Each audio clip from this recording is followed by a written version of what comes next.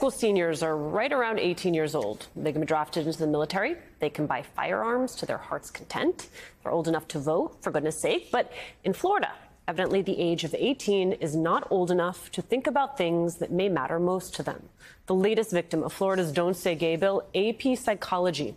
The Washington Post reports larger school districts in the state are dropping plans to offer the course as discussions about sexual orientation could violate the law because nothing says advanced psychology quite like limiting free expression and avoiding complicated questions. Joining our conversation, Randi Weingarten, president of the American Federation of Teachers, and Brandon Wolf, press secretary at Equality Florida, an advocacy group for Florida's LGBTQ community. Randi, the, the Post reports eight of the 11 districts with the largest enrollments in AP Psych are switching to alternate courses. Two are still deciding. Just one said it was sticking with the course. What is the actual harm done here? So what this is doing is just eroding opportunity for Florida's um, students, and that's what uh, that's what the governor is doing, and that's what the Department of Education is doing. AP Psych. Look, I'm an AP Gov teacher. AP Psych is one of the most popular AP courses. Um, there's about 1,800 people or 1,400 uh, kids in Palm Beach who were going to take it. There's 27,000 kids in Florida that were going to take it.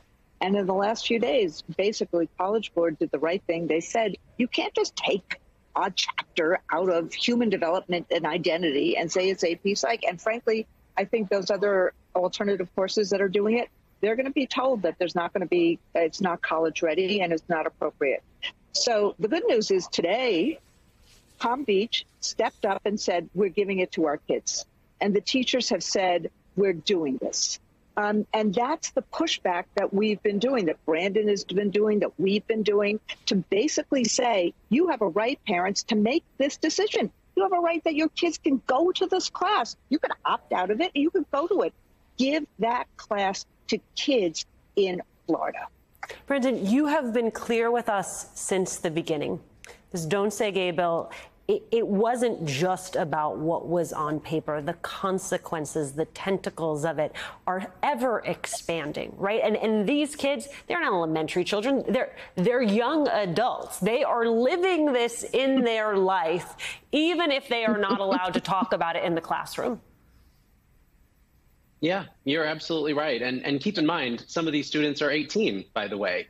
Uh, I appreciate that we're getting to a solution. I'm, I'm so grateful for Palm Beach and the other counties that have made the decision to go ahead and teach the course. But I think we need to be clear on two very specific things. Number one is that this is putting school districts once again in an impossible situation that's being driven by the policy you just talked about. They get one set of guidance, the no AP psych allowed from the Department of Education, and then moments later, they get different guidance from the commissioner of education. Meanwhile, they have the careers of thousands of educators and the class schedules of tens of thousands of students that are hanging in the balance. And they have a responsibility to do right by all of those people. And so they get stuck wondering if offering the course might cost teachers their job and also understanding that pulling the course out from under people is going to cost students their opportunity for college credit. So it's no wonder that these districts are again paralyzed by this bigoted law and moving very cautiously. And the second thing to get very clear on is that this is the intended outcome. Yep. This has been the DeSantis regime's MO for four and a half years. They use vague language and ominous threats to get communities to self censor so that they can feign ignorance when the very most extreme interpretations of the law come to fruition. But they don't get to wash their hands of this crisis. I think school districts uh, should call the commissioner's bluff. I think they should teach the course in its entirety, make him do the triangulating on the policy. But we should make no mistake that we did not have to be here we are here because of this governor's breathless obsession with queer people, a state government that has been completely bent to his appetite for power, and this war on freedom that has put families in Florida squarely in its crosshairs. All right, put a pin in that thought about your governor because I want to come back and talk about him as a presidential contender mm-hmm. because Randi, I got to get to this, which is that apparently William Shakespeare, who died more than 400 years ago, is woke now. So you have students in Florida only going to be reading excerpts from the Bard's plays. From the Associated Press, quote, several Shakespeare plays use suggestive puns and innuendo, and it is implied that the protagonists have had premarital sex in Romeo and Juliet. I mean, we are at a point where this it's it's just parody, right, Randi? I mean, if there if there weren't it's, such extreme, just... go ahead it's just it's just ridiculous. The AP Psych course has been around for 20 to 30 years. Shakespeare, 400 years ago. 400 years ago, it was amazing. Or 200 years ago, 10 years ago, 20 years ago. This is exactly what Brandon just said. The confusion, the chaos, the taking things away, the keeping people on eggshells, that is the point. And it is harming students. It is frightening teachers. And I'm glad that Palm Beach has stood up. I'm, I will defend every teacher who teaches this course because they are doing it for students.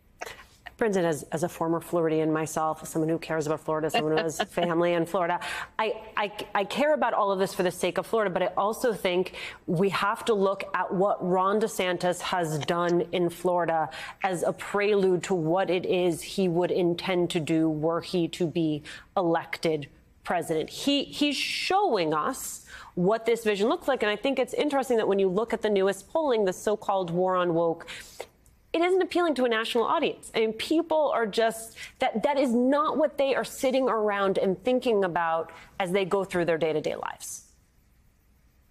Yeah, 100%. I mean, listen, just listen to the conversation we're having. It's not out of the onion. It's a real conversation that we're having, and it's totally absurd, especially when you consider that the things that keep people up at night are whether they can put food on the table or whether they're going to be able to fill their car with gas.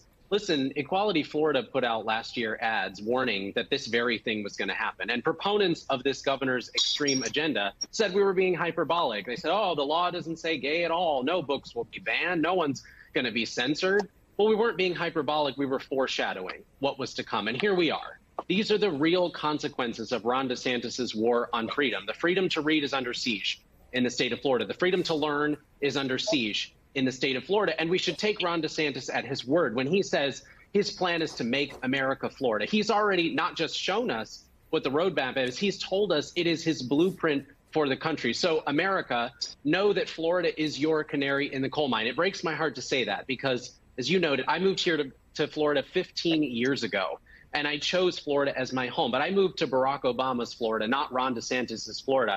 and it is really heartbreaking to watch the damage that he has done to the state and its reputation.